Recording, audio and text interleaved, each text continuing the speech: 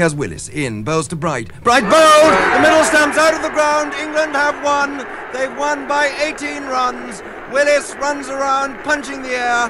The boys invade the ground and the players run helter skelter for the pavilion. Well, what a finish. Bright bowled Willis for 19. Willis has taken eight wickets, his best in his Test career, in his entire career, too. A phenomenal performance by Bob Willis, and Australia all out for 111. England have won by 18 runs. Bob Willis, former England captain, passed away today at the age of 70. Bob took 325 wickets in 90 tests from 1971 to 1984, including that career best 8 for 43 at Headingley in the 1981 Ashes. He captained England in 18 tests before his retirement in 1984, when only Dennis Lillee had taken more test wickets. He then had a long and successful career as a commentator, both with the BBC and with Sky. In a statement, the ECB said cricket has lost a dear friend. Well, with me, his captain from that famous day at Headingley, Mike Brearley. In a while, we'll hear from David Gower and Vic Marks. But first, Mike, such sad news. He was a fine man and a very, very fine bowler. Uh, one of the best England fast bowlers I think there's ever been. And um, everyone who knew him will miss him hugely. What are your memories of that extraordinary final innings at Headingley and Bob bowling from the Kirkstall lane end? I've heard him say that you basically just gave him the ball and said, Bob, just keep on bowling like you, like as fast as you can. Well, Bob was in, he wasn't in great form before that match and at the beginning of that match. I think he took one wicket in the first innings when they scored 400. And um, on the night before the last day, and he'd been bowling no balls, and he hadn't bowled, so he didn't know whether to bowl as fast as he could as he used to do, or cut down a bit. And on that last evening before the last day's play, a few of us were having a drink with him, and we said, he said, "Well, what shall I do tomorrow?" And he said, "Look, if you bowl." As fast and straight as you can, the way you can bowl, forget about those no balls and things like that. Uh, they won't be able to play you. And um, he started off bowling uphill, which is the end he wanted because he was nervous about the no balls and he thought if he bowled downhill he'd overstep. And after bowled very well in, in the second innings, and after a while, I think he said, "Let me have a go at the other end." And I wasn't quite sure, and then I thought, "Yes, why not?" And then he started to bowl down the hill in exactly the way I've just described, and he said to you and uh, and it was incredible. Obviously, it was there was a lot of luck that it turned out the way it did, but it was fantastic bowling, supported by other people, Chris Old in particular in that innings. But he took eight for forty three, and uh, finished the game off with a, a middle stump Yorker that took the middle stump out of the ground. It's extraordinary to watch that back now. And and you talk about about we talk now about sportsmen being in the zone at particular times. Yes. Was he in the zone yes. that day? Bob was in the zone in general more than anyone else I played with, or possibly against. I didn't know them so well, the ones I played against. He, at the end of an over, he'd stride back off down to long leg, you know, to his sort of resting place in the field. And someone like Bob Taylor, the wicketkeeper, or Alan Knott, or I would run alongside him, two steps to his one, encouraging him, making the odd suggestion, seeing how he felt. And it was like, you know, you almost had to knock to find out if anyone was in. He was in, but he had this particular zone he got into. And I think it helped him a lot. I think it was a sort of, it may have had something to do with the Bob Dylan. You know, he changed his name to added the name Dylan because he was such an admirer of Bob Dylan's. There was something of that sort of ecstasy or total focus uh, that might be in some great performers on the stage and great artists, perhaps, um, which I think he had. And, you know, he got into that zone and he was in the zone on that day, but you could still get through to him. And right near the end, when Dennis Lillee scored a quick 20 or something, um, which was a lot of runs in that context, um, Mike Gatting said to me, Tell him just to bowl straight. Don't let him get either side of the ball to help it on the leg side or cut it on the offside. And that's what he did. Mm. And he came back and bowled dead straight again. what was he like to captain? And all the, the players that you captained in your successful career, what would you say defined Bob, apart from that, that extraordinary focus yes. and concentration? Well, he was a terrific team man. He was an enthusiast. Uh, sometimes he could be a bit down, but other times he was very amusing, very funny, and he was quite fierce. I mean, he was like a second row forward in a rugby team who sort of slogged their way up to the opponent's 25, and some fancy play by the backs make them trudge back to the back, all the way back down the field. And he, he was he used to get very fierce if batsmen threw their wickets away, especially young batsmen. And we saw that, of course, in his commentary work later as well. And and he had Yes. this image of being a little bit grumpy, but but you obviously Yeah. saw the good side, the fun side of Bob as well. Absolutely, but I mean, even the grumpy side had its had its funny side to it as well. You know, when you knew him, he he was fierce, but he wasn't um, he wasn't unpleasant. He was just fierce. I suppose some people would be a bit nervous about him, especially if they were younger or didn't know him that well. But he was he was uh, and he was he was a great player of charades, for example, in India where we stayed in little hotels or uh, guest houses or things in the up in the country. He he would uh, he, would be a, a a great figure of the you know the after dinner entertainment, in house entertainment. Where would you rank him, Mike, in, in the all time great bowlers that you played with and played against? Well, I think he's up with them. Um, I suppose the people I think of in my career were Dennis Lillee and Jeff Thomson and the West Indian fast bowlers, and then um, Richard Hadlee and Imran Khan. And there was a great crop of fast bowlers, as well as Mike Procter of South Africa and, and others. But I think Bob was up with them. He was as quick as them, he was tall, he was a very awkward bowler to face with his in slant, and occasionally the ball would straighten off the pitch, you know, moving from the leg to the off. And then he was unplayable. But he got this very awkward bounce. He was at you all the time. He was an attacking bowler.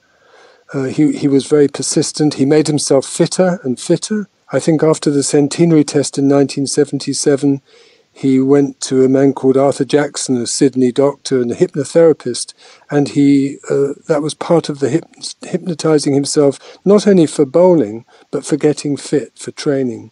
And he did a lot more running, and he became able to bowl fast for a greater number of overs in the day or in the match. So he he gained in stamina as he got more mature as a bowler. But he was a, he was a, he was up with them, and he and Ian Botham were any uh, up with any of the pairs of bowlers at that time, really. If you think about that Headingley Test match in 1981, we look back at that and we were remembering it all again in the summer just gone, this Ashes summer just gone. Yes. We talked yes. about Botham's Ashes, you talk about Botham's Headingley in 1981. Was it as much Willis's Headingley, would you say? Yes, I think it was. I mean, Botham was extraordinary in that match, but then so was Bob Willis, and uh, in that last innings, I suppose Ian did. He, he also took uh, six or seven wickets in the match, as well as scoring 149 not out and 50. So, I mean, he did it in three of the four innings. Bob did it in one innings, but in the in the crucial one, and it was a match winning. It was match winning stuff. If you could remember one thing about Bob Willis, if there is a memory that you will think about later on tonight and, and in the days to come, what would that be? I think I don't know the sort of little remarks he made, like they have to be spoken to. That was about some sort of Gower and Randall, David Gower and Derek Randall. You know, when they they scored a pretty forty-three and then got out. You know, um, uh, and that sort of fierce fierceness, which he meant, but as I say, which wasn't wasn't unpleasant. It was no malice in it. It was just that he wanted the best and Mm. wanted us to produce our best. Um, so that was one thing, and I think I think the other thing that I remember with great affection is his run up to bowl. You know, it was an extraordinary run up to bowl. Most people come in in a curve from sort of slightly wide of the stumps.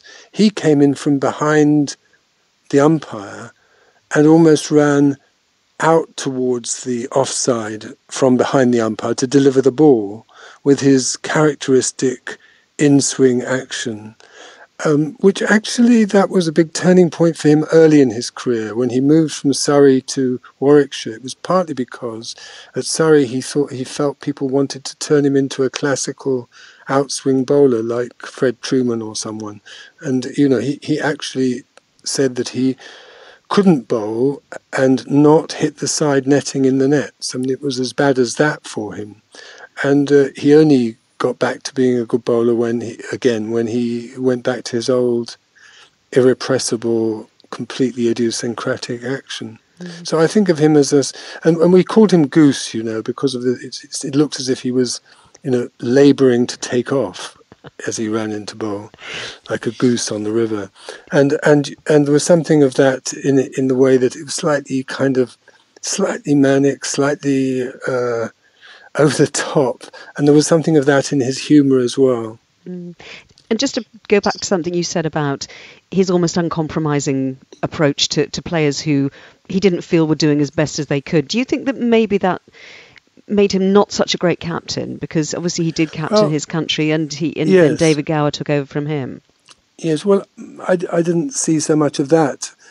Um, I thought he was a terrific number two. You know, he was completely loyal and he would say things that needed to be said, but which, so, you know, might be confrontational occasionally or might not be welcome to everyone's ears. So I think he was probably, and it's not easy to be a fast bowler and a captain, I don't think, because of all the adrenaline that goes into the bowling and the zone indeed.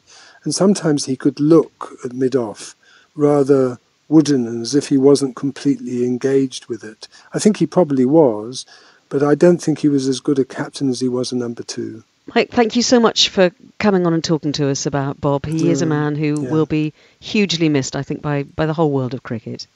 I'm sure he will. Very fond of him. Mike Brearley, thank you so much for sharing your memories of Bob Willis.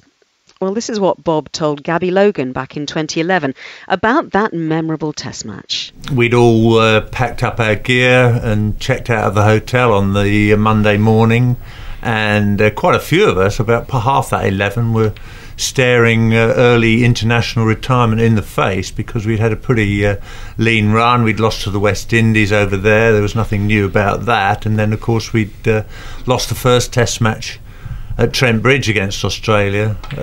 rain affected, boring draw at uh, Lords, which saw uh, Ian Botham resign the captaincy. So when they got 401 for nine in the first innings, uh, we were really walking the plank, quite a lot of us. So what inspired the turnaround then?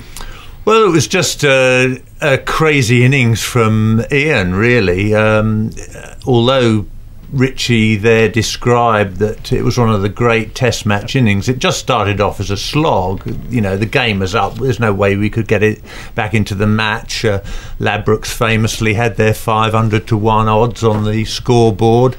Uh, Ian just went in and started slogging, and um, the ball went off the edge of the bat more than off the middle, and then he got himself in and started playing some outrageous shots, and it just went on and on from there. And at what point did you start to believe and think we actually we could do this? Well, not really until uh, the last morning where we took three wickets just before the lunch interval, and that was then because they'd reached 52 for the loss of one wicket, chasing 130. So there's really still no chance at that stage. But we picked up three wickets before lunch, and you could sort of feel the millstone of pressure lifted off our shoulders onto their shoulders. Mm. And uh, when Mike Brearley, Ian Botham, and myself had finished the press conference, we got back to the dressing room. and uh, all the other players had gone because they were playing the next day at all points uh, of the compass around the country in what was then the Gillette Cup. We didn't have any chance to celebrate that, and had a bag of chips and went home. That was it. That's it. It wasn't. I was I was driving back to Birmingham where I lived at the time. It wasn't until I turned on the PM program at five o'clock, and it was the lead story of. Uh, the PM program, and then the sort of penny dropped what we'd actually achieved that day. But uh, did it change your life? In terms of the riches? Very much so. I mean, I, I think that um, uh, being recognised everywhere. Well, as you mentioned, the ridiculous Doctor Who hairstyle, which we all had to have in the 70s and 80s. You know, one of your correspondents mentioned the flared trousers uh, helping in the wind. I was always bowling with the wind. Beefy had to bowl up the hill into the wind because he was a macho man. Well, that was Bob Willis talking to Gabby Logan back in 2011 about that extraordinary day back at Headingley in 1981. Let's speak to David Gower, who not only was part of the team that beat Australia on that famous day, so was a teammate of Bob's for a number of years, but also a colleague of his for many years as well with Sky Sports. And David, first of all, your thoughts today on, on Bob Willis, a friend and a colleague. Ah, yes. I mean, as a friend, um, I can happily look back on many, many years of loyal friendship. Um, it starts in a dressing room uh, when you first play. In my case, when I first played for England and Bob was a senior player. It progressed through the time that Bob was captain and I was his vice captain. And then it progressed on when I took over the captaincy for him in 1984. Um, I'm, I'm afraid I had to, had to ditch him pretty soon after. He'd got basically to the end of his legs at that stage. He'd worn his legs down to, to mere stumps. So by that stage, he'd run out of steam a bit. But then we picked it up again uh, when we came into commentary boxes together. So in Bob gave a lot of time and service and energy and all sorts of things. I mean, he was a very clear-minded man, a very sharp man, a very sharp-witted man. Uh, and we had a lot of good times together on and off the field, um, and therefore there's a lot to remember. You mentioned the fact that his legs were not in a great state by 1984. Mm. It's extraordinary, extraordinary that he actually managed to play as long as he did because he was in a really bad way in the late 70s. Yes, I mean, if you bowl quickly for any length of time, and I mean, his career spanned a good sort of 10, 15 years or so. If you bowl quickly for any length of time, there is going to be wear and tear. I mean, the great fast bowlers have all had problems of some sort or other. I mean, our great friend and colleague Ian Botham, Sir Ian, is finally succumbing to back problems and hip problems, that sort of thing, which have caught up with him after all his time. Um, but the least you expect is a couple of dodgy toenails. Um, if you're bowling quickly, and in, in Bob's case, with a body that, to be honest, didn't seem designed for the for the task as such, um, you are going to put immense stress on certainly the lower limbs. So back, hips, knees, feet, all take a huge pounding. Um, and one of the things you have to admire about Bob is the way that over the years, yes, there were injuries, so there were times where he'd be sidelined because of the injury. Um, and even in 81, he was, they were worried about his fitness before that infamous Headingley Test match, then to the extent they were just about to drop him. And he talked his way back into the side, which Mike, I'm sure, alluded to. Even then, you know, you have to be very careful with your premier fast bowler that you don't overdo it with him. But I mean, the, the simple truth is that fast bowlers learn to cope with pain. They become very stoic. Um, you know, they, it just becomes second nature. And therefore, I think you actually learn from that um, through all the usual things, you know, determination, uh, pride. You learn from all these things just to keep yourself going, whatever life throws at you. What made him so good? I mean, he was tall, as you said. He was quick. How quick was he? I mean, you must have faced him, of course, playing for, for Leicestershire when he was playing for hmm. Warwickshire and, and Surrey. What, what, what was he like? Two things. He had a slightly awkward action, so the angles sometimes probably made it harder for right-handers. He'd angle more into the right-hander. He had height, and he had a good high action. So from the high action and natural height, you get bounce. And he, you know, to be fair to Bob, there were times where he wasn't at full pelt, but he saved most of his better performances for England, of course. And when he was at full pace, I would guess he would be sort of 95ish, that sort of that sort of pace. So, uh, not to be sniffed at. And for someone like that, and in fact for all pace bowlers, again, to, to be honest, you know, they put the effort in now and again so you get the 95 mile an hour ball out. Uh, if you're up at the late 80s, 90 ish for a lot of a spell, again, that's putting pressure on a batsman who is well aware that you're coming at him quickly. And then there are times where you have to just peg it back again. Um, you know, mid 80s, depending on conditions, circumstances, and the amount of puff left in your lungs. So, uh, all in all, I think you look at look at the highs, look at the great spells of his, and they were uh, nasty and quick. Mike talked about the angle that he bowled from. That he came in mm. from behind the umpire. That he had his hand concealed behind his back for what looks like quite a long way. But he also mm. ran from a long way back as well, didn't he? How long was that run up? Too big for most village grounds, put it that way. And of course, Headingley made the point it was quite nice coming down the hill as well rather than up it. Um, yeah, he would. He could change that, of course. I mean, all fast bowlers again will have times where they go from the the ultimately very long run, sometimes the shorter run. Bob needed that long run to give him the rhythm. Therefore, you can so you can assume that he was actually mighty fit. You know, when he was up at you know, fully fit and firing Bob Willis, he was mighty fit and would bowl you know, reasonably long spells when need be, but obviously better in, sh- in shorter, sharper bursts. So yes, you've got a long run, you've got momentum, you've got rhythm. That action, of course, was copied by all sorts of people in homage, I would say. Um, you could say something else as well sometimes, but it was it was such a unique action, both the run up and the final delivery. I mean, all sorts of people like Graham Gooch, for instance, would try and copy it, imitate it in a humorous fashion at the end of games where games had basically died and there was 10, 15 minutes for a bit of light humour at the end of a test match somewhere. Um, so it was very recognisable, very distinctively Bob. And I mean, there are all sorts of people. If you go back a generation before Bob, someone like John Price at Middlesex, you know, a very distinctive run up. Um, there are all sorts of people you can imitate, but so you can do it in a friendly fashion. It's very, very hard to actually get the pace, the bounce, the angle, the skill that someone like Bob actually had obviously Mike told us a great deal about that that day at Headingley and and the hmm. instructions mm. that he gave to Bob and the conversations that he had the night before over over a couple of drinks, which you, you may may well have been there. I don't know, but but what do you remember of that day in the field and just that extraordinary bowling performance, eight for forty three? Well, the thing I remember uh, specifically was sort of the deathly hush that surrounded the ground for so much of that. There was a, an absolute tension and when you haven't got many runs to play with, and when Australia gets off to a decent start, you're starting to think, you know, despite the Botham heroics of the previous day, getting us actually ahead in the game for the first time, you're starting to think, well, actually, this game is going to, going to go against us. Um, so the key change that between them, between Mike, Bob, and Ian, that they made was the change of ends that allowed Bob to come down the hill to the Kirkstall Lane end. Now, in the field at that stage, um, you know, as a bit part player, you're obviously keen not to drop a catch if it comes your way. Uh, you're keen to stop any because you've got the two things. Obviously, taking any catches that come your way is vital, and if you can stop any runs going past you. So where I was at cover, if anything came close to me, you try and stop it by hook or by crook.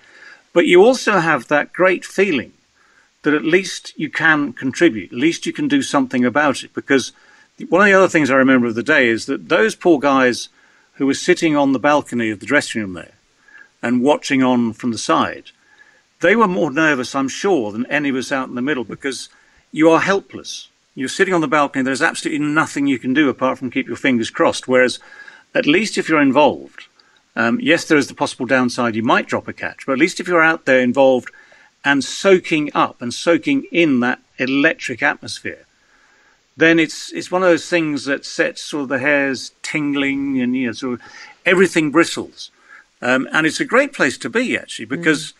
I mean, as time went on during that day, you know, as the wickets tumbled, as Bob's tally went up, we started to change our mindset again. You started to think, actually, we could be part of history. You don't necessarily think about that in that exact phrasing at the time, but you start to think, okay, we maybe can win this game.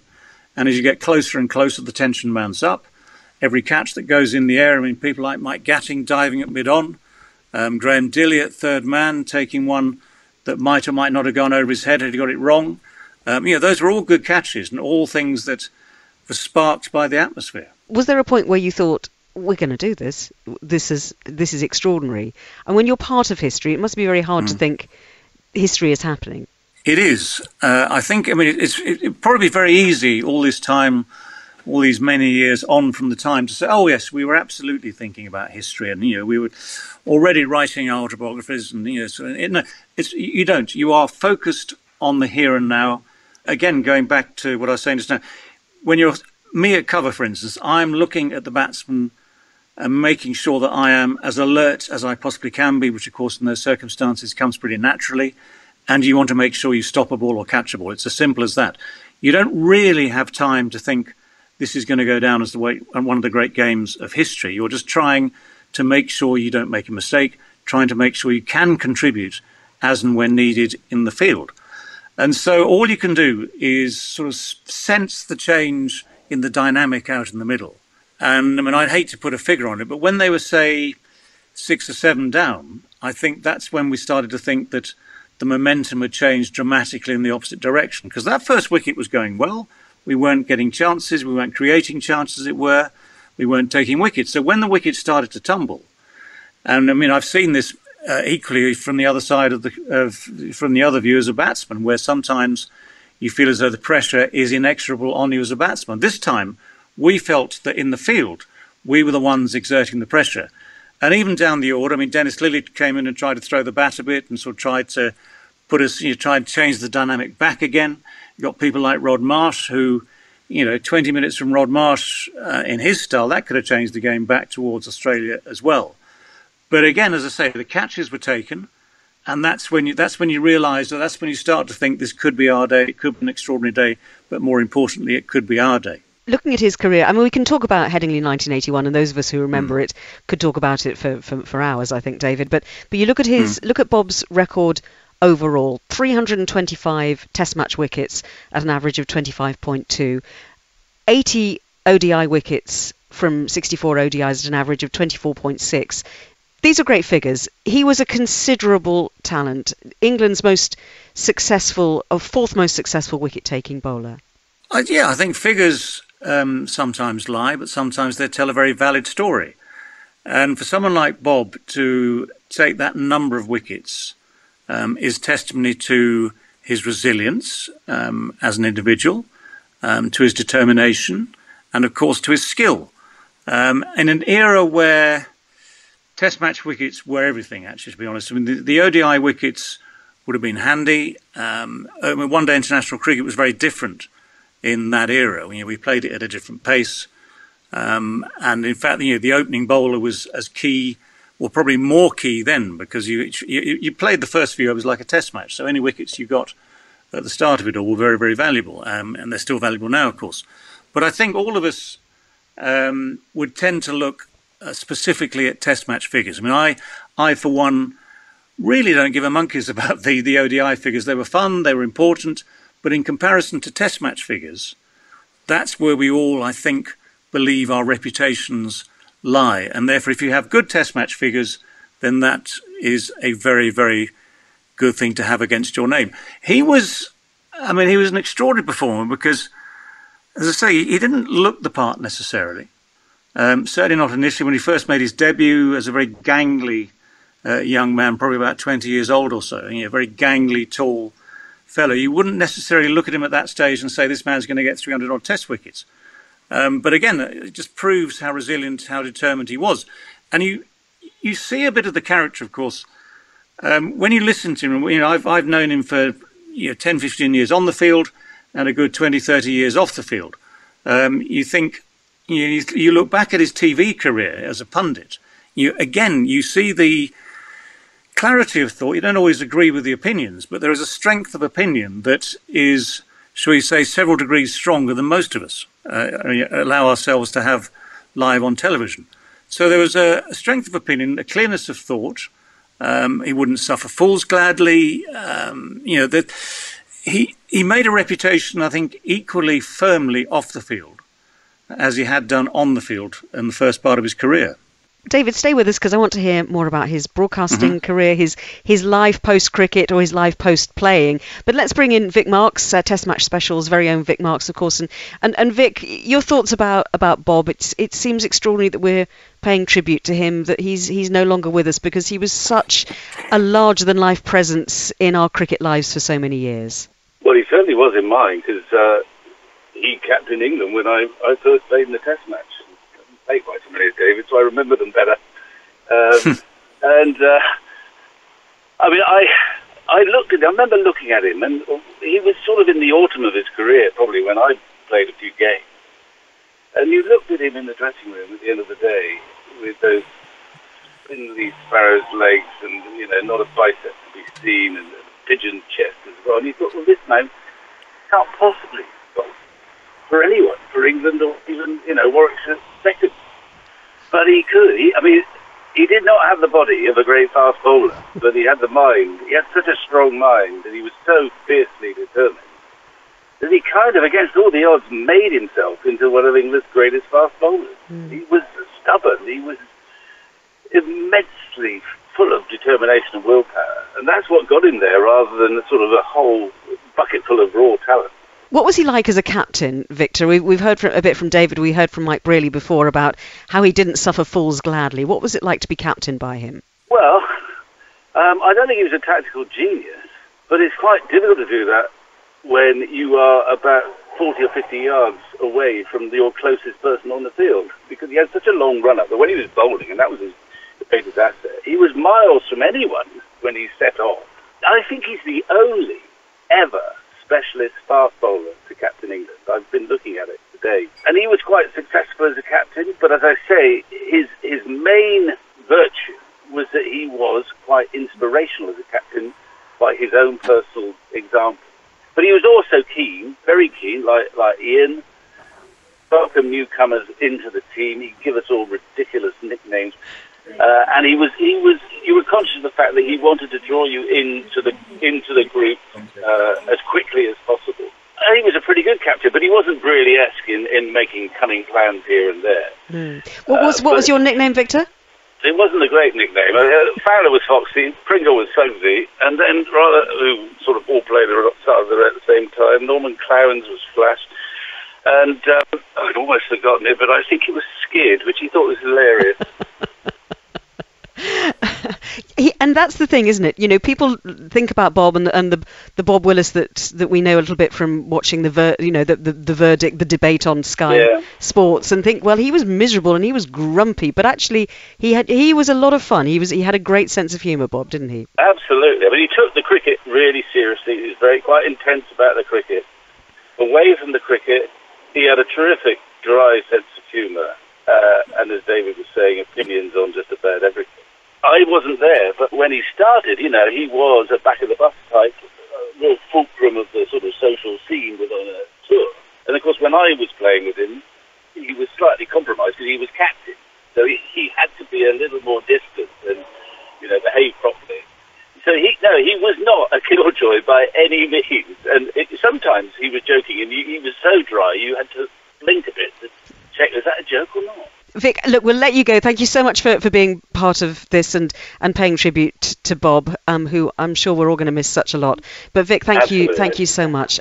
Victor Marks, who won his first cap with Bob as captain, and, and David Gower. Let's just go back to you and talk a little bit more about, about what Bob was like, you know, behind the scenes. Um, and and actually, I, I was remembering that um, he, because he lived not very far away from from me actually in the last few years, and I did a pub quiz with him a couple of times in our local pub, and he was very good on a number of topics, including uh, cathedral architecture. I remember he was very good once in one round of identifying cathedrals. Does that surprise you, or is is that part of Bob's hidden talents? No, it doesn't surprise me, although it's come as news to me. I have to admit that. Um, we've had many other discussions on all sorts of things.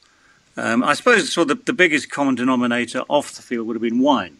You know, the, sort of both the Merrill, Willis, the BMW wines of the last sort of 10, 20 years now. It's probably 20 years now, probably. But that all came because of his friendship, with Bob's friendship with Geoff Merrill, one of the great winemakers from South Australia, who he met down there on an early, on one of his earlier tours became great friends with. We're all great friends of Geoff's now. And so the collaboration stemmed from that. And Bob and Ian, you know, both claim to have extensive knowledge of the wines of the world, especially Australia because of all our tours down there. And so that was that was always something which we could share and enjoy, as anyone who likes their wine knows full well. So we had all that, but you know, you could talk to Bob on any on any topic, he would have a strong opinion, most likely. There are very few topics, as far as I remember, that he had no opinion on or might you know, defer to someone else because he was bright. He was bright mm. and he was interested. Um, you know, as, and as, as, as we've just said, you know, off the field, this apparently dour demeanour that some people uh, don't like so much or you know, haven't warmed to on the TV. That is, it's, it's so confusing because behind that man um, is a man with a, a real generosity of spirit, uh, was a man with immense humour, um, could be, could be completely off the wall as well. And of course, you know, with the Dylan haircut, and I mean, the other thing you could tell you, you, know, you could recite any Bob Dylan lyric of anything mm. he'd ever sung.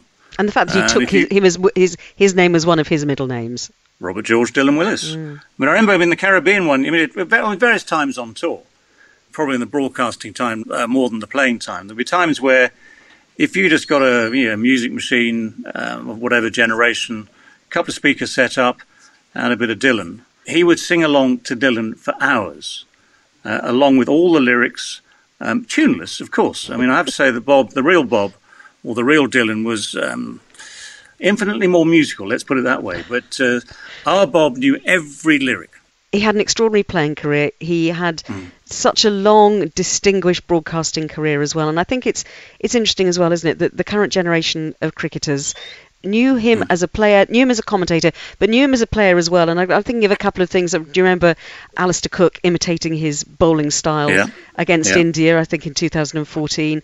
And also Stuart Broad, who was, of course, the last England bowler to take eight wickets in an Ashes Test match. Before that Test match at, at Trent Bridge, he had a long chat with Bob the night before, didn't he? Well, I, I think it's lovely when that happens because there often is a sort of us and them divide when when you're a player, you look at the people who are talking about you on television and radio, and you don't always necessarily agree, of course. There's a sort of certain amount of human nature in that. And I think it takes, you know, it takes until that time where the first part of a career is maybe finishing. And in fact, Stuart Broad's quite a good example because Stuart, um, the last couple of years, has been much more interested in the media and has become so much more fluent at. She's very good on radio, very good on TV, talks very well now. And I think all of us will think, well, maybe we could make a career out of this. Bob obviously did, and he did it very well in his own inimitable style. But the, one of the things that I thought was rather good actually under Andrew Strauss was that uh, when he was director of cricket for the ECB was that he was quite keen to get our generation not involved all the time, but at least to be on speaking terms. So we'd have the odd dinner with current England players and sit down, in my case, with some of the batsmen, just have dinner. Bob, the same sort of thing. Ian Botham, the same sort of thing. Um, and I think it's really good when that happens because although there is that tendency to feel that those in the media will criticise, because inevitably that is part of the job, especially on bad days, what they never do is lose their empathy for an England team. So myself, Bob, Ian, look at the sort of the next generation, Mike Atherton, Nasser Hussain, you never lose your empathy for English cricket. And underneath it all, however neutral you have to be or wish to be or pretend to be, you always want England to do well. And so sometimes that goes missing. Sometimes that gets lost in translation, as it were. So I think it's really good when players of different generations come together and exchange notes. Um, I think it's very positive. Just finally, David, if there was one thing that you could remember Bob by, if, if there is a final tribute and a final thought to him that you'd like to share with us, so we'd, we'd love to hear it. I will I mean, because he was sort of, what was it, sort of four or five inches taller than me, probably. I always just remember him looking down that peculiar nose of his, probably with a glass of, shall we say, just for the sake of, shall we say, Geoff Merrill Shiraz in his hand. And going, How was your day, Lubo? Had a good one? Yes, Bob, we have. Thank you. David, thank you so much for sharing your memories of Bob. Just a couple of tributes to read to you before we finish. Sky Sports Managing Director Rob Webster said, uh, Our hearts go out to Bob's family at such a sad time. We've lost an icon of British sport and a wonderful man, a cricketer of fantastic talent. His career was etched with high points and incredible achievements at the highest level. Captaining England and setting a tremendous standard as a fast bowler, his game was the stuff of legend, and his records will stand the test of time. Joining Sky and becoming part of our coverage three decades ago, he made a similar impact on how we have broadcast the game to our viewers. His style, and in particular his voice, will always be remembered fondly. We shall miss him. And in a statement, Bob's family said they were heartbroken to lose our beloved Bob, who was an incredible husband, father, brother, and grandfather. He made a huge impact on everybody he knew, and we will miss him terribly the ECB said they were forever thankful for everything he's done for the game. Cricket has lost a dear friend.